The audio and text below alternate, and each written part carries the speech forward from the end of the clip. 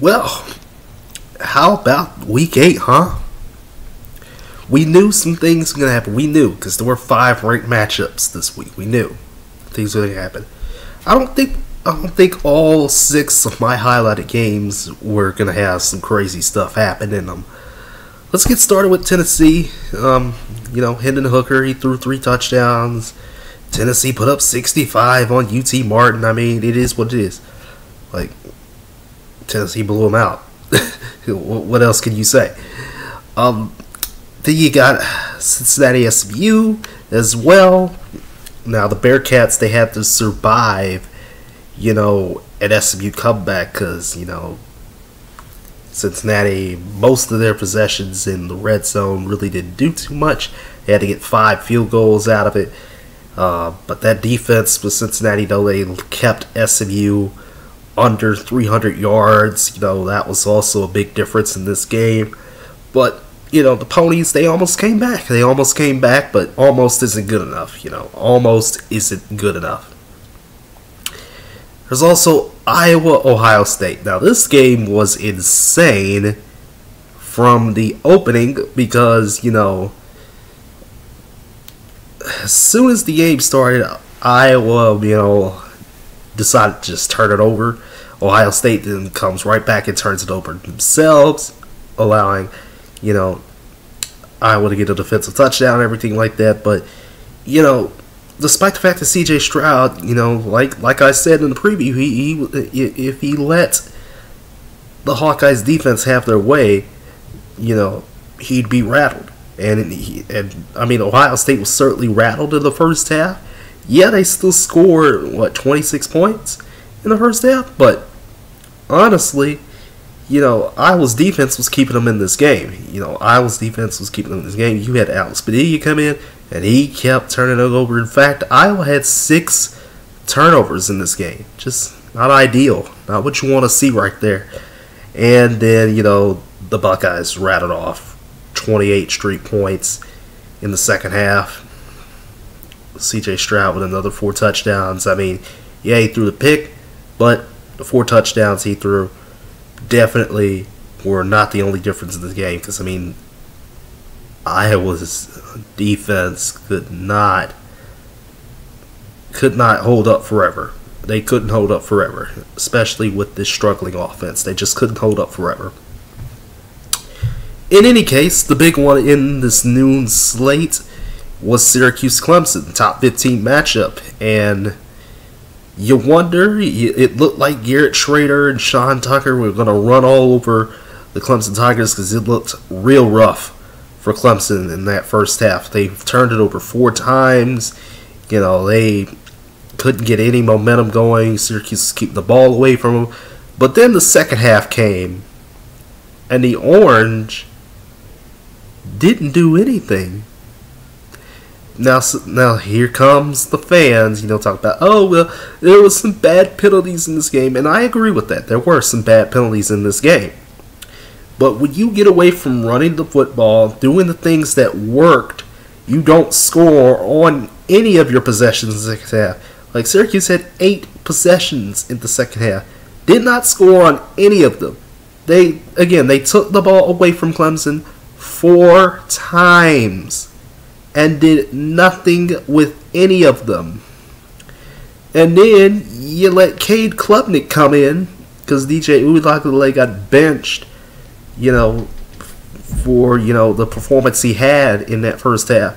He got benched. He and Will Shipley decided to tear up Syracuse on their own, and I mean, like this, like again, like this is this is all on Syracuse here. Like, yeah, again, you can blame the penalties for like maybe like five percent of what went wrong because again, you know, it was a, some ticky tack calls, roughing the passer, you know, uh, or rather unnecessary roughness.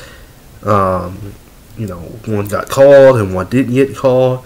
One benefited somebody and one didn't, and you know, you kind of get the story there. You know, refs really just don't discriminate. We, we discussed this already. Um, this is mostly on Syracuse, and I, I've said this. Like I even said this on Twitter today. It's mostly on Syracuse that they failed to win this game because they should have blown out Clemson, and they didn't. Instead, the game got stolen from them. And it's disappointing for Syracuse because now you got to go back and you got to play Notre Dame next week. Clemson, they get to sit pretty at 8 0. They get to sit atop the perch of the ACC and they get to watch. They get to watch the carnage unfold because they have Notre Dame after Syracuse does. So, you know, it's it's gonna be it's gonna be intriguing to see, you know, how the rest of the ACC shakes out the next couple weeks, while the top two teams right now technically are playing, you know, non-conference games against Notre Dame. So, we'll see how things go in the ACC as time moves on. In the afternoon, um, well, Sam Hartman put up six touchdowns again. I mean, what what else could you say? Like Boston College, we knew wasn't going to do anything in this game, and that's just exactly what happened. Like, just completely overwhelmed were BC by the Deacs. Just too much, too much. You know, Sam Hartman in this game. And then we had the big ones, the three big games in this window. You had Texas, Oklahoma State, Ole Miss, LSU, and UCLA, Oregon. Now, first off, Memphis Tulane because I don't know what kind of I don't know what in the world was going on in this game. We're talking Tulane was up 35 to nothing. We're talking they got a punt return touchdown. They got Tyjae Spears, you know, having a 100 yards performance and a touchdown again. Three running backs for the Green Wave scored touchdowns.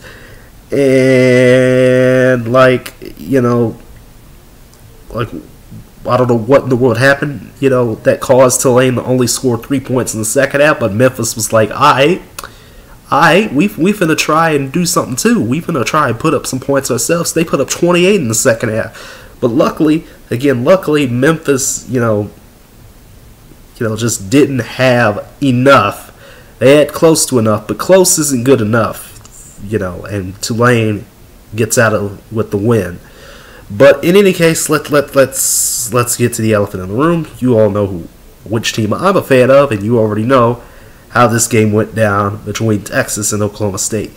Like again, Bijan Robinson once again, stellar day. You know, a buck forty on the ground, touchdown on the ground, a touchdown through the air. Quinn Ewers unfortunately didn't do too well. Did not do too well. The over again, we talked about this in the preview. You know, the overthrows were a thing. The Texas defense, of course, being a thing, just completely failing to stop Spencer Sanders because he put 391 on this Horns defense. 391 passing. Uh, you know, Texas had the lead at halftime and just squandered it as usual.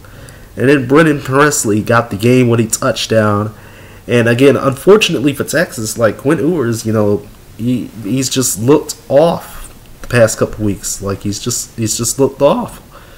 Like he did, he hasn't looked, you know, like the guy that carved up Oklahoma like it was nobody's business. But then again, we know Oklahoma's bad. We know Oklahoma has three losses already. But Texas, now they have three losses themselves. Now they're going to go into a bye week you know, trying to get some answers because they need answers really quickly if they want to stay in the Big 12 race. They got to catch up to somebody. But we'll talk about that somebody in just a moment. Oklahoma State, they're in a good position right now. They they they they're in a position where you know they have you know they still have tests in front of them, but they can get back to the Big 12 championship if things go their way. And things have to go their way because you know now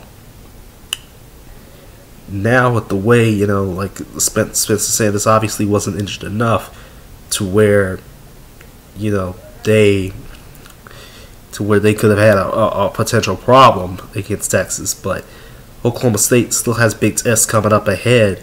The rest of the Big 12 is looking at them like, I, we, we see a team in front of us that's it's really good. You know, this is a really good team. You know, they can play. They can they can they can ball. You know, but they got Oklahoma State has some weaknesses that you know still need to be figured out. Meanwhile, for Ole Miss, um, yeah, that defense did not learn their lesson from the Auburn game because Jay Daniels put up five touchdowns on this team. Like we're talking, the Rebels were up seventeen to three. I'm thinking like, okay, LSU's gonna get you know demolished in this game, and then you know the Lane Kiffin defense, the patented Lane Kiffin defense, decided to show up because they were up seventeen to three. They get outscored forty-two to three after that. Like after you know a little bit after the first quarter you know, going into the second, they were up 17 to 3. Got outscored after that. Just unacceptable. Again, people had LSU favored to win this game. And boy, oh boy, whoever picked LSU to win this game, you got to be real happy right now. And LSU is tied with Alabama for the lead in the SEC West. More on Alabama in a minute. But Ole Miss, this is disappointing right here. Like, how do you lose this game? How? How do you mess this up for yourselves? Again, number seven in the country, you had all the momentum right in front of your face, and you squander it. Just like that, with that defense playing like it did. Unacceptable stuff right there. Speaking of defenses playing, you know, like absolute trash, UCLA, come on down, because you didn't learn your lesson from Utah. Oh, what? You, you, oh, what? We, what? You thought, you know, you thought I was gonna ignore that? You thought I was gonna ignore that Utah also put up a lot of points against y'all? Yeah, that didn't work against Oregon. You know, that did not work against Oregon. The UCLA School of Thought with Chip Kelly, you know, just did not come fruition against Oregon because Bo Nix was out here slinging it. Just when I thought, you know, the run games would be the factors in this one. Instead, Bo Nix decided to show off his arm and throw five touchdowns, two of them to Troy Franklin, by the way. And I mean, the Ducks had all the momentum, put this game away in the first half, like an onside kick they got, put it away. They put this game away by the by the like by that first drive in the third quarter because it was like 38-13 at one point and you know, after after that after that last touchdown, you know, that put the Ducks up 38-13, I was like, all right, I'm done with this. And so I switched on over to Ole Miss LSU after that. And for Oregon, you know, after all that, after all that, getting waxed by Georgia in the first week of the season, they reeled off you know, six straight wins. UCLA kind of disappointing, you know, with the loss and everything, but you know, it was kind of bound to happen with the way they've been playing on defense because again, you know, UCLA kind of they, they kind of have a reputation of you know making things a lot harder than it needed to be. Like Washington, Utah, you know, yeah, they ran all over Utah, but Utah still put up a lot of points on them. South Alabama, you know, things were not looking, you know, right for the Bruins. Now Chip Kelly and company have to do something because, you know, there's still uh, a looming red and yellow threat. You know, another LA team, you know, ready to do battle with the Bruins real soon. And when that time comes, UCLA has to be ready they still, again, UCLA still has a good shot to get to the Pac-12 championship, but they need to be perfect next the rest of the way. Oregon, on the other hand, they're in prime position. They need, they also need to be perfect the rest of the way, but they they got to be feeling real good right now. Let them have this moment. Let them have this moment, man. And in the evening, the three games that were offered Two of them were blowouts, so let's just get this out the way. Like Bryce Young had two touchdown passes, Jahmyr Gibbs had another TD run. And although Mississippi State had the idea to keep the ball away from Alabama, it still did not stop the Tide from scoring 30 points. At least Mississippi State scored, but that was at the end of the game. You know, I, I genuinely do not know why they went for it six times on fourth down because this offense did nothing. Will Rogers did nothing. Mike Leach did nothing to to to even you know to even you know make Bama a little scared. Like do something, anything. Instead, nothing, nothing for Mississippi State. Please get out the rankings. You, know you and Texas need to get out the rankings, please. For my sake, as a Texas fan, just keep the just keep the horns unranked, please. And Mississippi State, just just get out the rankings. Like, how many bad performances do you want?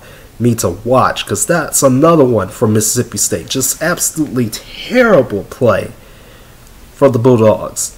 Alabama's back in good company. You know, they're back in good company with the way things been going for them. So, you know, they're not done yet. The Tide aren't. They still got a tough road ahead to get to the SEC championship, and it's not going to be easy. Again, there's a couple teams that you know played today. Yeah, the game that you know, you know, the Ole Miss LSU game didn't go, you know, the way Ole Miss wanted, but Ole Miss is still dangerous. LSU we know is dangerous, so you know Alabama still has a target on their back in the SEC West. So we'll see.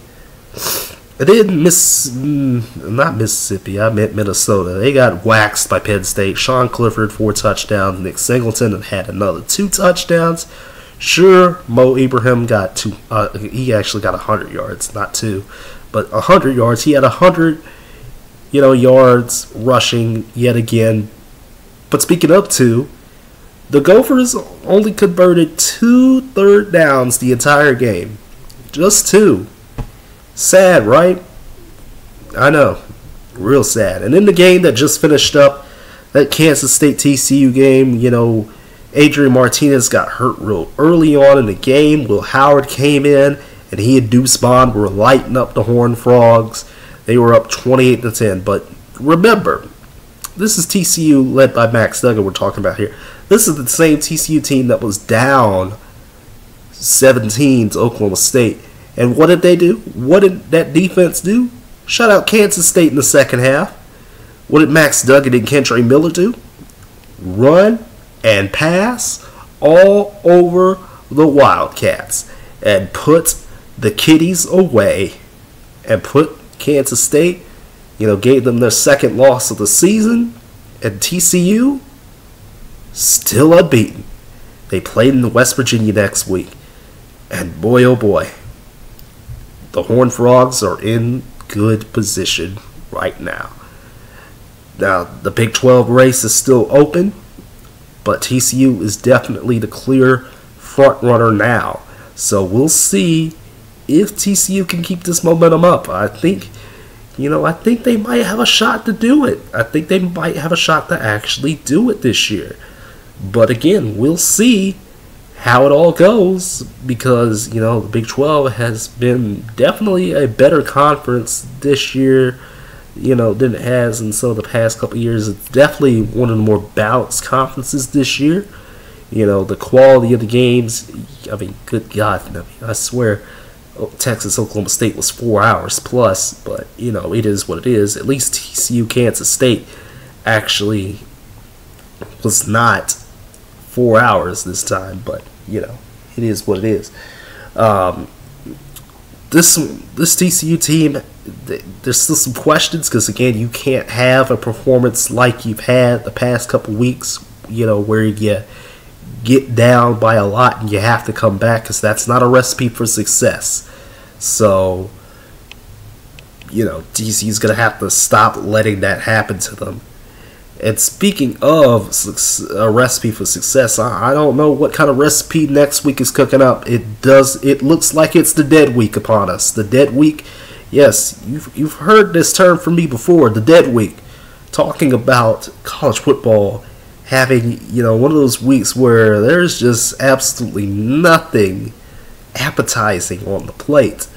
But we'll talk about all that next week, and we'll see if I can garner six games for us all to watch, you know, I'm sure I'm sure there, there's I'm sure there's six games, but it's just gonna be like how, how do we how do we find those? You know, you know it, it's gonna be hard to find six games worth of watch. I mean, yeah, there's an FCS game between two top ten teams going on right now in Sacramento State, Montana, but I don't want to watch that. It's gonna be eleven o'clock at night, and I'm ready to get ready to go to bed, man. Ready to go to bed because after today and the craziness that happened today, where you know it seemed like we were gonna have you know one of the most interesting days of the season so far in the FBS. It turns out some things stay the same. You know, no Clemsoning. Uh, you, you know, Texas is still Texas. LSU, LSU and Alabama, they're on another collision course. You know, if you heard that term before, and you know, I mean, Ohio State is still Ohio State. They're that good. They keep holding teams under 20 points, by the way. They're that good. So, I still think it's Georgia, Ohio State. Now I can add Tennessee to the mix, and then it's everybody else. I, I can kind of add Tennessee there, but I don't want to because of Tennessee's defense. But I'm gonna, but for practical effects' sake, I'm just gonna say Georgia, Ohio State, and then everybody else. That's how I still feel right now with the state of college football as we are transitioning into the last month of the season, November. So, until next week, that's all I got. And I'll see you all tomorrow to talk some NBA because I've been neglecting to get that video out for the NBA. I've been neglecting it due to work and some other stuff happening personally. So I'll get to it tomorrow. Y'all take care. Have a good night. And hope you enjoyed college football today because I certainly did.